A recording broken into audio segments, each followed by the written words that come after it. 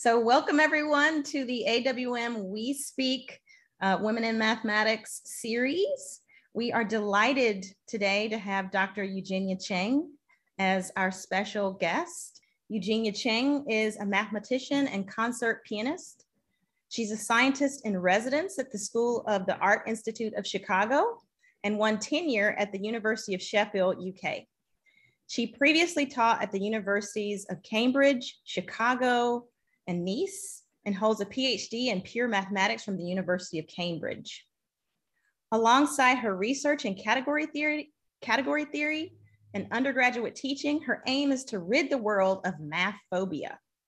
Eugenia was an early pioneer of math on YouTube, and her videos have been viewed over 15 million times to date.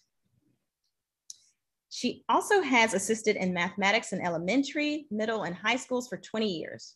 Her first popular math book, How to Bake Pi, was featured on The Late Show with Stephen Colbert, and Beyond Infinity was shortlisted for the Royal Society Science Book Prize in 2017.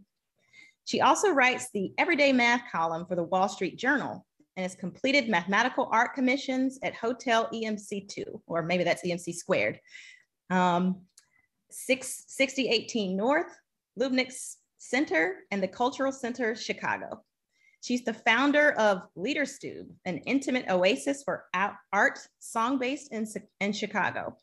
She also has written The Art of Logic and An Illogical World, X plus Y, a mathematician's manifesto for rethinking gender. And her first children's book, Molly and the Mathematical Mystery, was released in the US in March 2020, 2021. Dr. Cheng will be joined by Sarah Ponder, Sarah Ponder is a mezzo soprano and a soloist, ensemble singer, and outreach performer with the organizations such as Lyric Opera and the Chicago Symphony Orchestra. She's on the faculty at Loyola University and the University of Chicago at uh, University of Illinois at Chicago. So without any further ado, Dr. Eugenia Cheng and Sarah Ponder.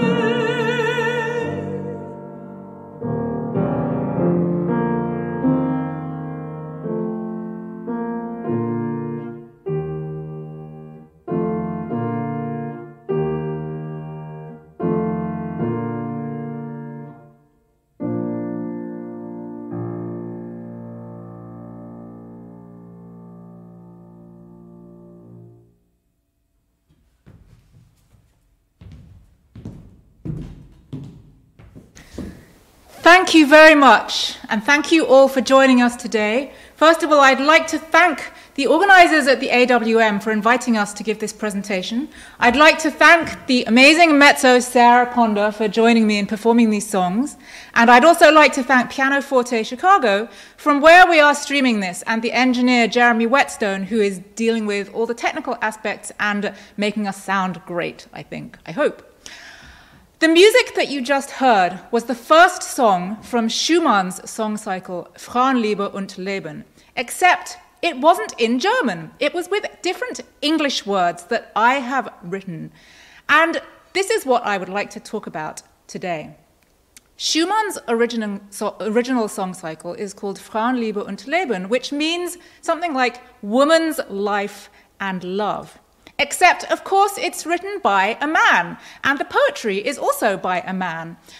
Adalbert von Chamisso, he wrote the poetry in 1838, and Schubert wrote these songs in 1840. And the woman's life and love that they're talking about is a kind of typical middle class woman of the era. So the entire life of hers is that she falls in love with a man, gets married, has a baby, and then the man dies, and her life is basically over because what's the point anymore at that point? The music is so beautiful, but unfortunately, that poetry no longer resonates so much with many of us contemporary strong women. But the music is so beautiful that we often want to perform it anyway. And it seemed that there were two options either just give up singing these wonderful songs, or somehow come up with ex- some excuse for singing it anyway, like, oh, it was just in the context of the time, or we're just acting.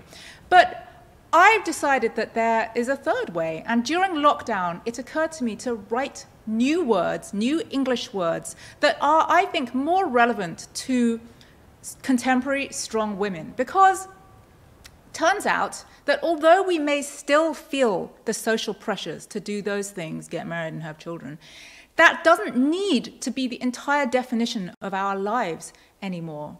And so I decided to rewrite them to be more relevant, in particular, to my life and to many other women, because not everybody is interested in men or marriage or indeed having children. And some women, like me, are tragically unable to have children, in fact. And so I decided to write about my career instead. My career has been quite unusual, even aside from the fact that I am a woman mathematician, which is unusual in its own right. I did the usual things, like many women. I tried to fit in as a mathematician in the traditional mold of male mathematicians. So I did my PhD, I did postdocs around the world, I got the holy grail of tenure, and then I realized that I wasn't happy doing that. I didn't feel that it was making good use of all of my abilities. But more to the point, I didn't feel that I was accepted. And I had a bad time. I felt that I wasn't appreciated for all the things that I did. So I decided to turn my life around. And I took the unusual step of quitting my tenured job and building myself a new portfolio career, as they say, where I do a whole range of things, including I teach category theory, very abstract mathematics, to art students at the School of the Art Institute of Chicago. I write books for general audiences and for children. I go around the world. I used to before COVID. I hope to again. I go around the world doing public speaking and visiting campuses and talking to students and doing workshops with teachers and with children. I write a column in the Wall Street Journal. I do art. I play music. I run a not for profit to, to bring classical music to wider audiences as well. It might seem that if I write words about this, it will be very specific and even less applicable. And the thing is that it's not specifically about this story. It became rather more abstract, somewhat like the mathematics that I do, because I set myself various constraints. First of all, I didn't want to change a single note of the music because the music is beautiful. That means that I needed to write words that would fit to the existing music. And this is the other way around from how classical songs are usually written. Usually people take poetry and then make music to go with it. But because the music has rhythm built into it, that means that I had to pick words that would fit into the existing rhythm, but also importantly, that would fit the emotional arc. Because Schumann's music has very clear emotions written into it. And so I wanted to mirror those emotions. And so the arc of being extremely excited to be in love with a man and then incredibly excited to get to, to, to get married, I needed to find things that I was excited about, but not, not necessarily say them specifically because it was very difficult to fit specific words in. For example, the next song begins like this. It goes do do do do do do do and the original words are er der herrlichste von allen. Er der herrlichste von allen, which means he, the most glorious man of all. So if you could pick words that fit that, it could be like there's some very tasty ice cream. Okay, so that wouldn't exactly be very profound. So you could pick words that have the same number of syllables. You could say something like I'm a professor of pure math. But the rhythm is all wrong, and so it doesn't sound right. It's unpleasant to sing, and then you can't understand it. So what I came up with instead is, There's the life I've always dreamed of. And so the whole set, I wanted to find words that would be meaningful, would also fit the music, would also be somewhat pleasant to sing, which means you have to play, pay attention to what vowels are on which notes. And also, just because that wasn't enough constraints, I decided I, I wanted to keep the rhyme scheme as well. So it's, it felt like quite a mathematical process, trying to solve this problem, fitting all these pieces together. And the result was that I had to express everything somewhat abstractly. And it's funny because when you do abstract things like abstract mathematics, what often happens is that it turns out to be far more applicable than you ever really intended it to be. And to me, this is one of the powerful aspects of abstraction that it seems like you're moving away from reality, but what happens is that you're bringing more things in. And as a result, the emotional arc that I wrote into these words turns out to be, I think, much more widely applicable it's applicable basically to anyone who's ever dreamed of doing something, has got some way towards succeeding, but then has found that they're still not really accepted by the existing gatekeepers.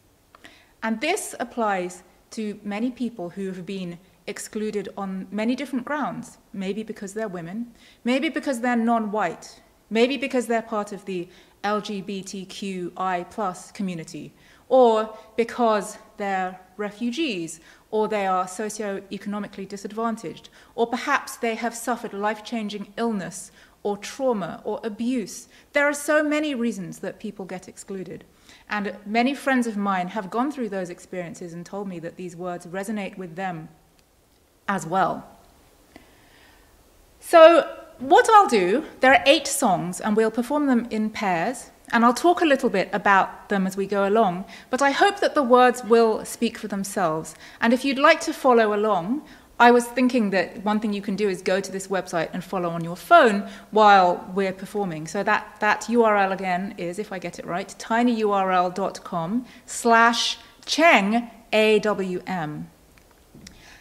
The next two songs, the next song was originally about being so overwhelmed by seeing this amazing man.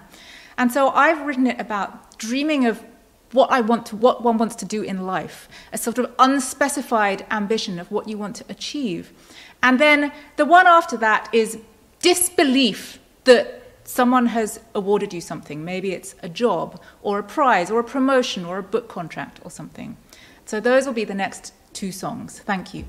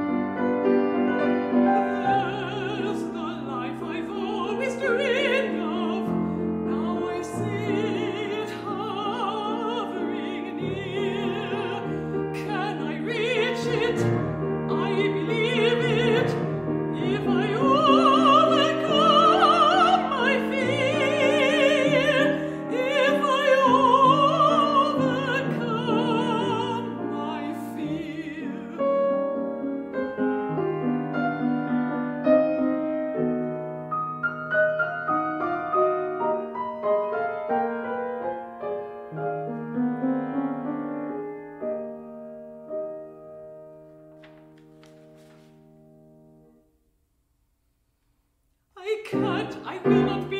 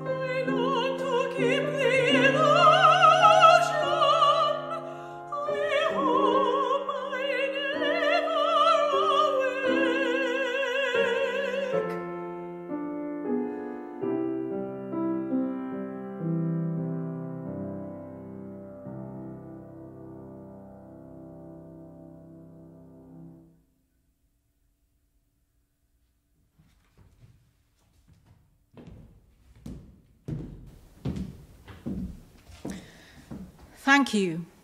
So that was a song mostly about imposter syndrome. But I would like to point out that imposter syndrome is not just something in our heads. For those of us who, who feel like imposters, many of us, especially women and people of color, it's because people have actually told us repeatedly that they don't think that we're good enough. And so I like to say it's not really imposter syndrome, it's really surrounded by unsupportive people syndrome.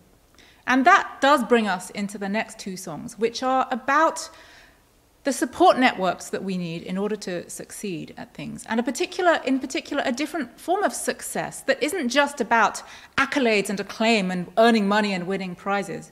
In my last book X plus Y, a mathematician's manifesto for rethinking gender, I introduced some new words, ingressive and congressive, to replace the gendered concepts of character types that we have. And I said that ingressive signifies kind of being an individual, going into things, being independent, ambitious, competitive. And those are the traditional forms of success that we have rewarded and that the status quo tends to reward. And instead, I prefer to value congressive versions of success, bringing people together, um, nurturing collaboration, and not trying to beat other people down in order to raise ourselves up. And so I wanted to write about that form of success. The song is, is quite introspective and introspectively joyful. Originally, it's about a ring on her finger and she gazes at it and says that this ring has taught me that my, the purpose of my life is to serve my husband. So, never mind about that. I didn't just give up on the song because it has some mathematics in it, which I teach to my students at the Art Institute in my class called the mathematical secrets of music. The math in it is a melodic inversion, and that is mathematically a reflection in the horizontal line. So, melodic inversion is where you flip a melody upside down so that everywhere it used to go up, it now goes down by the same amount. And Bach does this a lot. But it's nice to have some examples of these kinds of things in music that isn't Bach. And so I do this one where the theme goes, there's a tune in the middle that goes do do do do do do do. So ba ba ba. The inversion is ba ba ba ba. And I am quite pleased with myself because I've made it a poetic inversion as well. So the first theme, the one way up, is that many people supported me, which is true of me, and it is true, many people have supported me to get to where I am. But the inversion is that many people said I would never become what I wanted to be. And unfortunately, a lot of people said that as well. The, the reason that I didn't just want to give up on this isn't just because of the math in it. And I don't think that math in music makes music good. It, it can be an interesting way of composing, but this is such a gorgeous song, and not just for the singer, but also for the pianist as well, I think. Schumann was a pianist, but his wife Clara was also a pianist, and actually, she was also a composer. And their joint diaries describe how when he wrote this song cycle, which was right around when they were about to get married, caused a huge argument between them. She didn't like the themes in it. And he said to her, Well, this is what you're going to have to do when we're married. It's no more of your art. You're going to exist in service of my art. And so Clara Wieck became Clara Schumann and really stopped composing her own music and dedicated her piano career to, to performing the music of her husband. So this is kind of my tribute to Clara who is in fact my pianistic great grandparent, which means that she is my piano teacher's piano teacher's piano teacher. Incidentally, my mathematical great grandparent is Alan Turing. That's my super, PhD supervisor's supervisor's supervisor. And I am quite proud of that joint lineage. And so now here are two songs about congressive success and the support networks that help us to get there.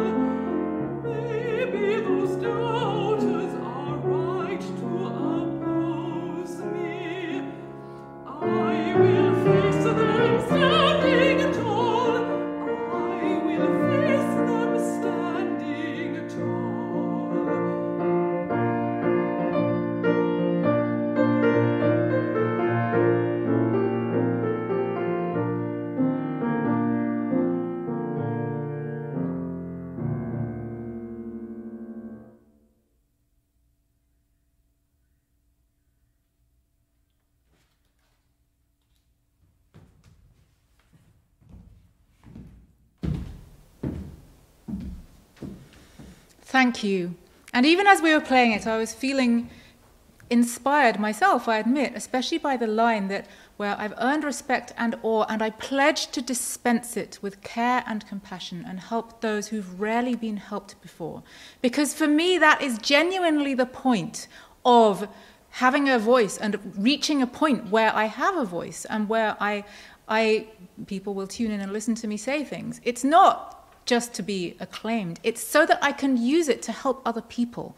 And that is what congressive success for me is about. It's not about glory, it's about being in a better position to help others. And so, unfortunately, at this point, we reach the turning point in the cycle where the protagonist, who may be me or who may be somebody else, realizes that although they've achieved success, they just don't really fit in, whether it's because of their own beliefs and aims or because people are really opposing them because they're not doing things in the way that is expected of them. Now, in the original cycle, this is the point where she gets pregnant and has a baby, and that's the life changing point in her life. But unfortunately, many people like me are unable to do that. Some people don't want to, but in fact, about 18% of women are childless involuntarily, and that is a very deep trauma. But I do know that having children is also sometimes a reason that people are forced to change their career direction because our industry and others are not very conducive to motherhood or helpful towards people with small children. And when I've done panels of role models, women role models in STEM and beyond, I've noticed that often every single woman on that panel has changed direction in the middle of their career for whatever reasons. And this is something that I am proud of having done, that I changed the direction of my career and found a different way to do things. And so I hope that these next two songs, although it's, it, it depicts the sad reality of not being accepted, it is galvanizing in the story of not just putting up with it forever, but changing things around in a transformative way.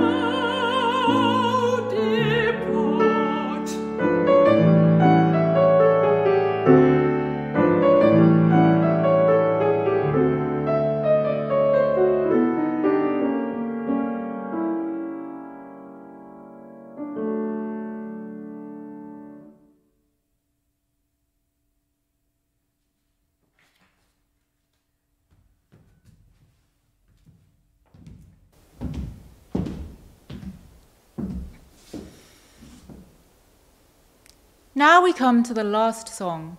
And in the original poetry, this is where the man dies and the woman says, Well, he was my whole life, so there's really no point anymore. My life is basically over. And she decides to retreat into a world where she just remembers the past. And so the music goes back to the music of the beginning. And unlike some, some song cycles, it really is a cycle. It goes back to the beginning. But in a sort of inward backward looking way. Now, I love loops mathematically, and loops come up a lot in mathematics, and I've written about them many times, and the way that we use loops to create more math, that we use loops to make computer programs, that we use loops to create infinity. In this case, I wanted to make a loop that isn't just going back to the beginning, but that goes back to the beginning transformatively, because we're not going back to square one. We've brought all this experience with us. And if you know any topology, it reminds me of universal covering spaces, where you don't just get, when you make a loop, you're not just back at the beginning, but you carry with you the knowledge of the path you took to get there. And so I decided to write so that the, the coming back to the beginning is, is not just retreating into yourself, but is forward looking. And I admit that that transition, when we come back to the beginning music, ba, ba, ba, ba. It does quite often make me cry because I know I'm proud of how I've transformed my life to be different before. And when I wrote this music, I didn't yet know that I was never going to be able to be a mother. It seemed likely because I, I just had another miscarriage. But now, when I think about it, I think to myself, I feel galvanized because I've done it before. I've transformed myself and reinvented myself in ways that I didn't imagine. And I believe I can do it again. And I believe that other people can do it. And here is my hope for the future with these new songs and with the way that we move forward as, as women in mathematics and other people who've previously been excluded from different fields. My hope, first of all, is that more people will sing these new words rather than the original ones. And that we will all feel galvanized to continue to make paths for ourselves, even when they're not the ones that the status quo wants us to take. And that, moreover, we will feel galvanized to work hard so that other people who follow in our footsteps don't have to go through the things that we went through. And maybe, maybe in a hundred years, if we're not extinct from climate change, maybe my new words will become irrelevant and someone else will sit down and decide to rewrite them again. Yes, that's a big hope. But I am an optimist. That's why I'm in education, because I really believe that we can help the next generation to do better than us. And that's why I will continue to do this work. And I hope you will too.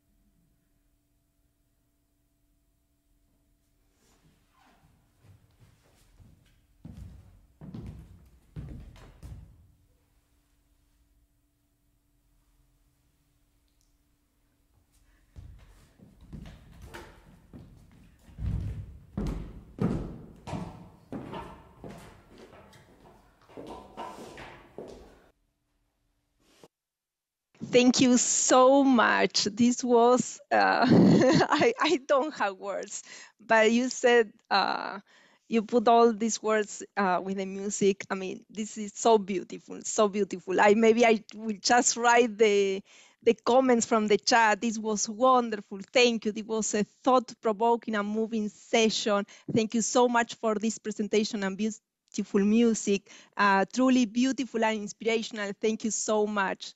Uh, this was especially wonderful. Thank you. Claps, claps, claps. Uh, thank you so much. This was um, very emotional, I will say. Um, so I am without the the words. So please uh, keep thanking uh, Eugene and Sarah. This was beautiful. Thank you so much. Um, Thank you.